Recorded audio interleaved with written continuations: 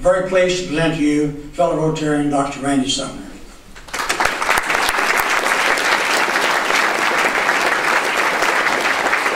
Well, thank you very much. Um, It's really a joy here to be here. I'm going to set this thing for 20 minutes because I know that's what we're at.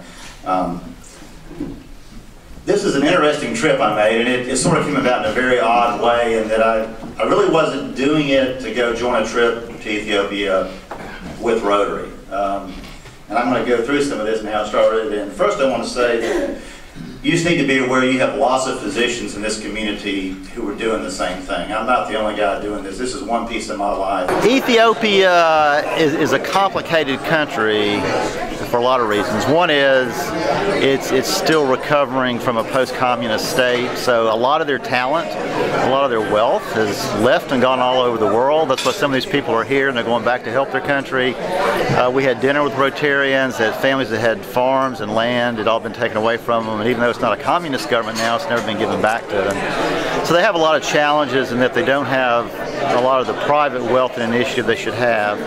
The other issue probably would be that uh, there is a there is a culture, I think, throughout Africa.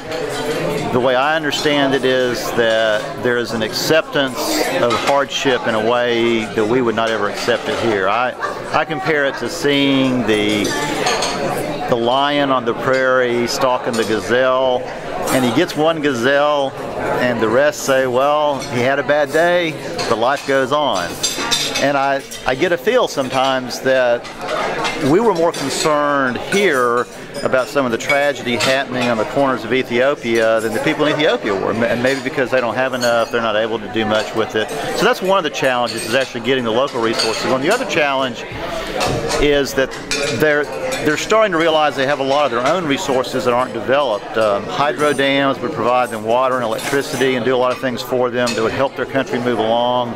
And they have to get the money and the engineering and things to get those things done so they'll be self-sufficient. So we're sort of working around the fringes of what they need, trying to keep the fires down.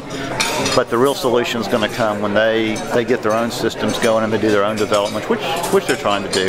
Um, I think I think you you you start to realize the enormity of the conflicts in that area, how how conflict is, is part of those countries in a way that we haven't seen in a long, long time. That there's always displacement and refugees and wars and instability, and that people moving from country to country trying to find food or shelter. And it, it's impacting, as we saw, it's impacting both ends of Ethiopia. The, the place we went, Nasosa, now has become the hot, it's the hot spot now. They're, they're having a war in Sudan, and they've got refugees coming over to the little village we went to, and they're, they aren't vaccinated they're malnourished, they're trying to vaccinate their own people against disease. So you've got a poor country in the midst of poor countries trying to vaccinate its own people to protect them from getting worse